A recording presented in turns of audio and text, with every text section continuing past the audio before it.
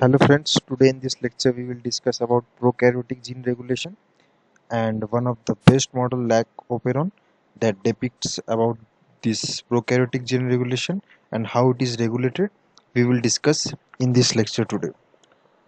So prokaryotic gene regulation mostly occurs at the level of transcription. Most form of this gene regulation usually occurs at the level of transcription this this gene regulation are usually mediated by gene regulatory proteins okay which will binds with the regulatory sequence present in the DNA now let us suppose this is your DNA okay. In this DNA there are regulatory genes which will code let us suppose this is a regulatory gene. Now this will code for gene regulatory proteins. And these gene regulatory proteins can be of two types. Either they are activator or they are the repressor. Okay. Now both of these both of this activator or this repressor will go and bind to its gene regulatory sequence. Okay. So don't confuse these two terms gene regulatory genes are those genes that codes for these regulatory proteins. And these regulatory proteins will go and bind to the regulatory sites. So they will go and bind to the regulatory sequence such as promoter sequence of the DNA okay where uh, RNA polymerase usually sits. So based on that they have two function. Either this regulatory protein will activate your DNA transcription and in this case they will be known as your positive regulators. Okay because they are increasing the activity of transcription. They will also be known as your positive regulators positive regulators and repressor will inhibit the transcription and in that case they will be known as your negative regulators.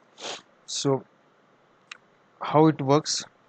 Let's see here so here we can see a DNA in which there is a regulatory gene a promoter a operator and this XYZ gene. All of these genes are lying under the same promoter which is usually seen in prokaryotes.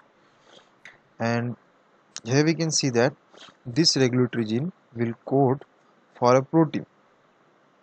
Okay this protein will go and bind at the regulatory sequence such as the operator region. Okay now this RNA polymerase will have no access to transcribe this gene. So basically this operator is inhibiting the transcription here. So they are the repressor. Okay. So such kind of regulation by this repressor is also known as your negative regulation. While for positive regulation we will see in the next slide. So here our transcription is off. While for positive regulation we will see here the regulatory gene will will code for a protein. This protein will go and bind at a sequence near promoter sites. Now when it will bind to the sequence near promoter site it will recruit this RNA polymerase to the promoter region and your transcription will occur. So transcription in this case will be on and this protein here will be activator and the kind of regulation mediated by this protein is your positive regulation. Okay. So prokaryotic gene expression occur in a polycistronic cistron means polycistron means that this gene A, B, C, D all of them are located within or under the same promoter. A single promoter is responsible for the transcription of all these genes because all of them are located downstream of this single promoter. While monocistronic which is usually seen in eukaryotes here we see that a single gene is located under a single promoter while in case of prokaryotes a multiple gene is located under a single promoter. So usually expression occur in prokaryotes through polycistronic means okay. So let us discuss about this model lac operon in details. So lac operons usually consist of three structural genes lac z lac y and lac A. these genes are located under a single promoter P. They are polycistronic and they are transcribed as a single RNA okay. So they are transcribed as a single RNA this LAC-Z gene usually codes for beta galactosidase protein. LAC-Y codes for permease and this LAC-A codes for transacetylase. Now the function of this beta galactosidase is it splits lactose. Basically it catabolizes lactose okay to monosaccharides such as glucose. Lactose is a disaccharide. So it will catabolize this lactose into your glucose so that cell can use this glucose for glycolysis path and they can generate some energy. Okay.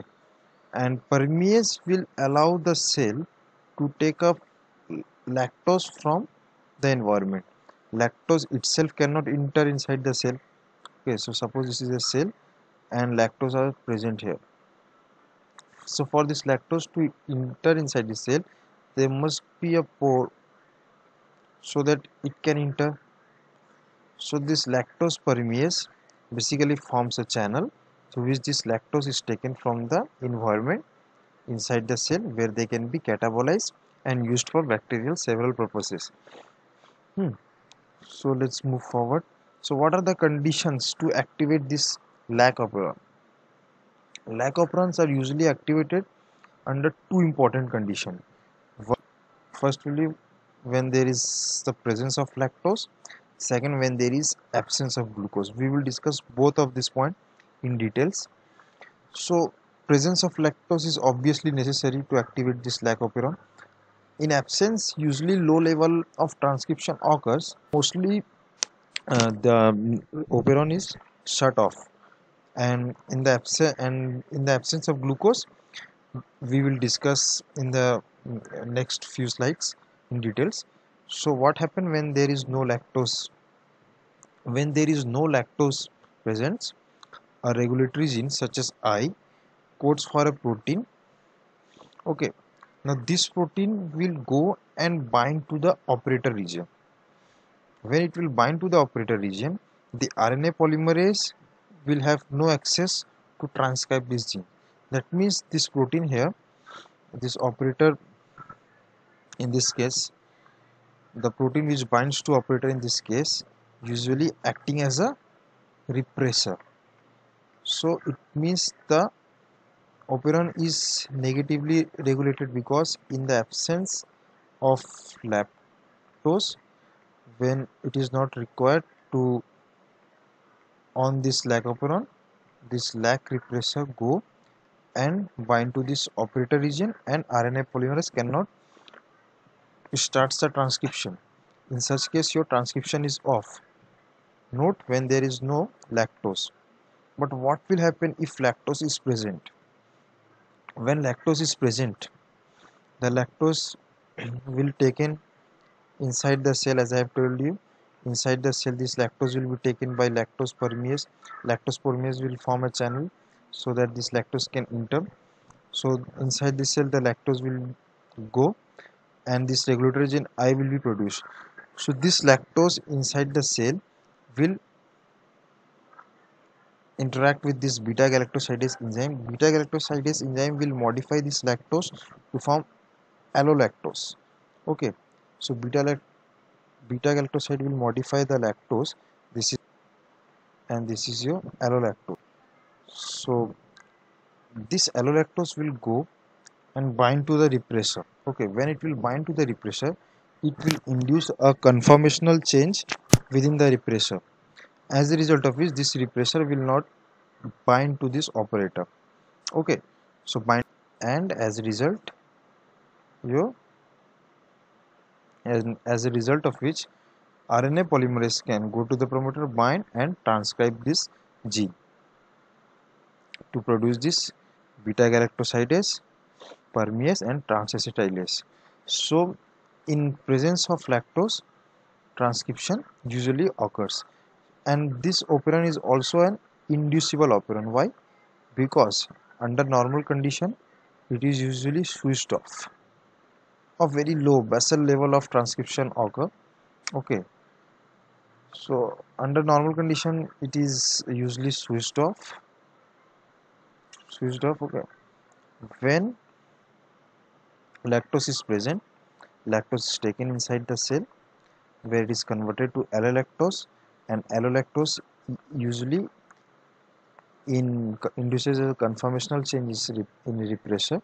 So allolactose here acting as a inducer. It is an example of a inducer because it activates this lac operon.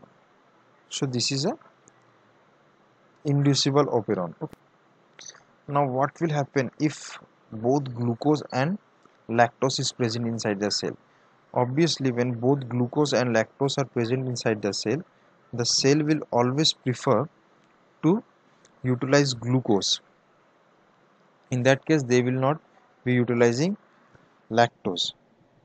Therefore the lact operon is only expressed at high level when there is no glucose because when glucose will be present level of cAMP will be very low. Okay. Now just because the level of cAMP will be very low cap a catabolite activating protein catabolite gene activating protein will not be able to interact with this camp. Okay. So when this cap and cAMPs bind to each other then only this cap can bind to DNA so when there is no cap this cap cannot bind to DNA and and as a result of which when this cap will not bind to DNA it will not allow the RNA polymerase to bind to promoter. And when there is no binding of RNA polymerase to the promoter your lac operon will be turned off. So cap and this CAMP complex is usually a positive regulator.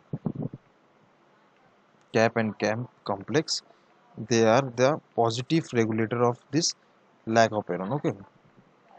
They are the positive positive regulator of this lac operon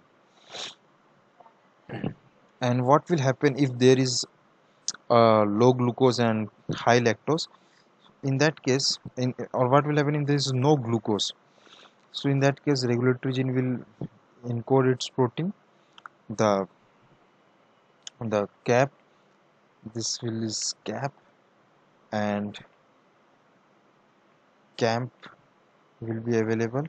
So this cap and cAMP will bind with each other and will allow the transcription to occur because this cap cAMP will recruit this RNA polymerase and transcription will be happen in that case.